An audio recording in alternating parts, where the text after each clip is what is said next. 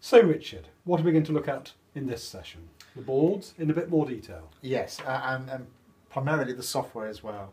Um, we're going to talk about the Easy Radio Companion software. Um, Right. All um, eRIC transceivers come with um, the software built into it, um, what we call our application software, which is basically an Easy Radio. It's a simple um, data in, data out protocol.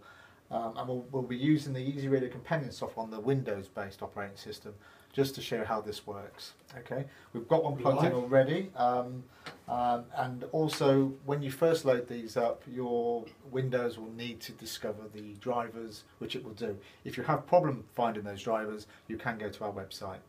And I've noticed that it sometimes assigns a new COM port every time you plug it in. Not the same one, but if you get a new board, it will uh, assign a new Yeah. COM port. But once it's learnt that one, it will it will have that Okay. one stored.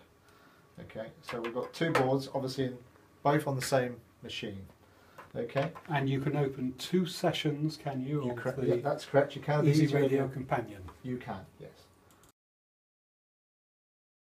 Obviously, you can write your own applications if you want to with the code compiler and other, other software. That's advanced class. That's that the advanced class, certainly. Uh, but we offer offer the eRIC modules with, as you mentioned, the Easy Radio built into it. But we also do in on the software and the USB stick um, a demo one program, which includes Easy Radio Companion software again, but also adds in what we call some test modes. And these test modes relate to the board where you press the button switches. And there are some manual ones and some um, automatic um, buttons. So remove his head, place wireless mic into the laptop, and we'll open the folder. Go to what's that one now. We'll go to the software section, and which we call the eRIC Flash Programmer. Oh, we need to install a programmer so we can actually program the device That's correct, it yeah. Uh, look for the latest, latest one. Uh, current one is version 1.1, and we'll run that. It's an exe file, so Mhm. user account control required, yes. Correct.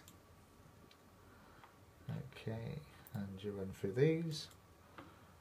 Uh, Next. okay. And go. Install. Okay, finish. That didn't take long. It doesn't take too long now. Okay, um, what I'll do is I'll keep this window open. Um, as I'll explain in a moment, the demo files are, are I can this s- window just I can here. see a folder here called demo hex Yeah, files. I assume you'll files. find them there, will we? Yep, that's correct. Okay, so we now need to um, find what we call the bootloader, which was installed with the Flash programmer. Uh, so we go to all programs um, and down to the LPS folder, and there's eRIC Flash program. That's the there. Flash pro- programmer, right? Yeah, now you can create a desktop icon if you like. Okay, looking back at the screen, you will notice that the eRIC development board has appeared under COM12. It's been auto detected. That's correct, yes.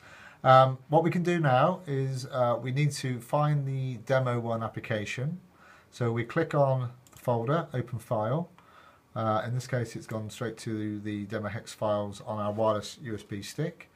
Um, so then we would select eRIC Demo 1 and go open. This then appears in the top window. We now need to now press on this eRIC bootloader version 003 COM12. Just to highlight it. yes. Correct. And then the, I guess the the flash, whatever you want to call it, lightning strike, uh, um, will light up.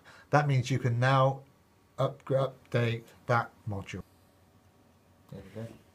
And you'll see now the blue lights are flashing. This is indicating that the module is. is being programmed. That's been that's correct.